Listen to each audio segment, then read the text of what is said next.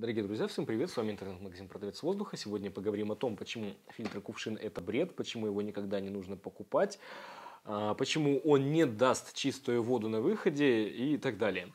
Откуда у данного вопроса растут ноги? Очень много количество людей поставили знак равенства между фильтром кувшином и другими фильтрующими системами. Например, между трехступенчатой и иногда еще и даже между осмосом. То есть есть понимание, что якобы те системы это просто комфортная инсталляция под раковиной, но это вот кувшин отличный способ почистить водопроводную воду, которую потом еще и можно пить. Нет, ничего подобного. Собственно, господа, в этом видео расскажем, почему это делать нельзя, какие есть пути решения, как происходит очистка в этом устройстве. Словом, после просмотра видео вы поймете, почему от кувшинов нужно отвернуться раз и навсегда, если вы по какой-то причине ими пользуетесь или хотите начать ими пользоваться. Допустим, вы купили кувшин. Итак, давайте посмотрим, как же происходит процесс очистки. Ну, начнем с самого простого. Я просто буду попутно рассказывать. Заливая воду в кувшин, она попадает на фильтр.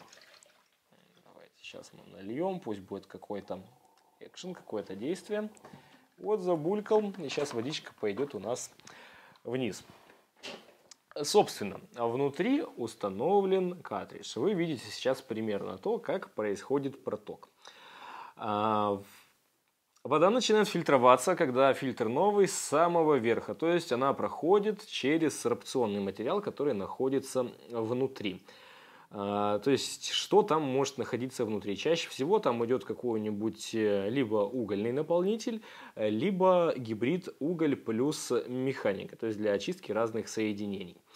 Вот, а, покупая кувшин, если вы всю жизнь до этого пили обычную хлорированную воду, заливаете обычную воду из-под крана, вы будете ловить вау-эффект, потому что вода на вкус станет абсолютно совершенно другой. И здесь, так скажем, происходит достаточно такая интересная уловка.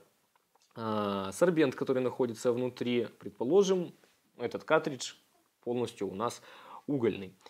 Уголь прекрасно борется с хлором, он прекрасно борется с бактериями, прекрасно он борется с запахами и с органикой. Вот. Но есть то, с чем он вообще никаким образом не борется, там, например, вирусы, например, какие-нибудь соли тяжелых металлов и так далее. Э, собственно, на выходе мы получаем воду, которая уже из которой убраны запахи, вот, э, которая не хлорированная, то есть потому что угольный фильтр это все дело отсек.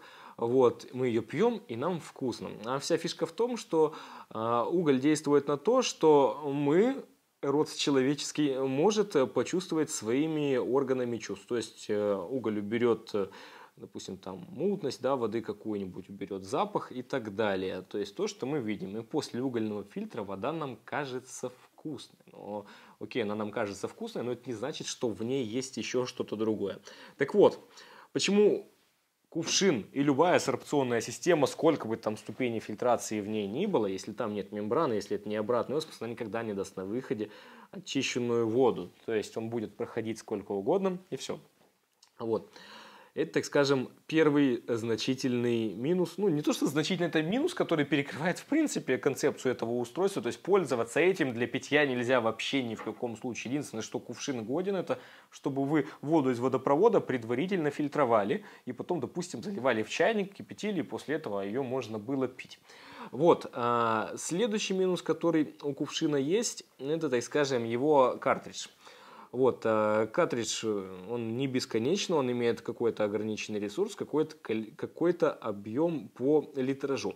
Так вот, так как я сказал, что угольный фильтр прекрасно от себя отсекает бактерии, он еще и достаточно неплохо справляется с органикой. Вот.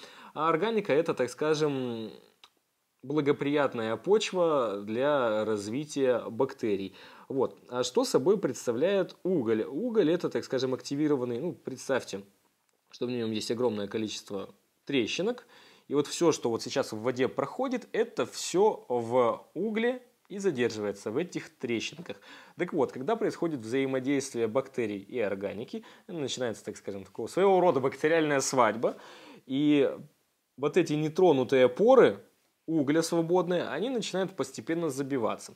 Вот, тем самым, даже когда вы не фильтруете воду, ресурс картриджа постепенно сокращается.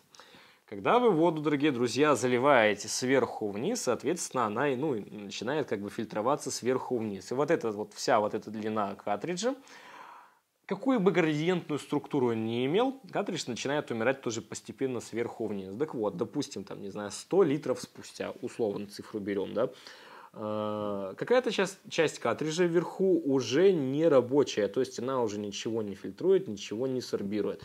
А, водички остается уже не так много, чтобы дойти до, так скажем, до конца картриджа и уже попасть в бачок, сам кувшин, из которого водичку вы потом будете наливать.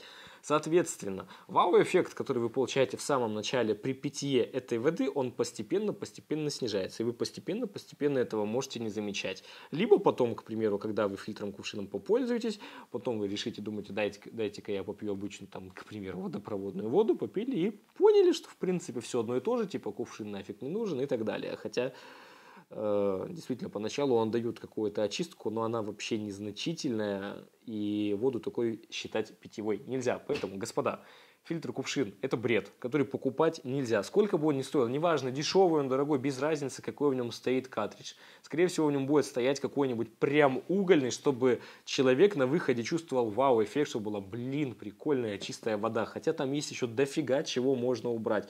Можно, так скажем, есть картриджи с ионообменной смолой, есть механические картриджи, есть угольные картриджи. И вот, так скажем, поместить в кувшин их все три ну, невозможно никаким образом. Сделать какой-то микс, сделать гибрид из этого, ну, значит, не достичь ничего другого. Хотя это тоже, к сожалению, все есть на рынке. А учитывая то, что производство этих картриджей, оно никаким образом вообще не регламентируется никем и никак не контролируется, есть очень большое количество картриджей, которые при установке даже не начинают работать. Поэтому, друзья, никогда не покупайте фильтр кувшин.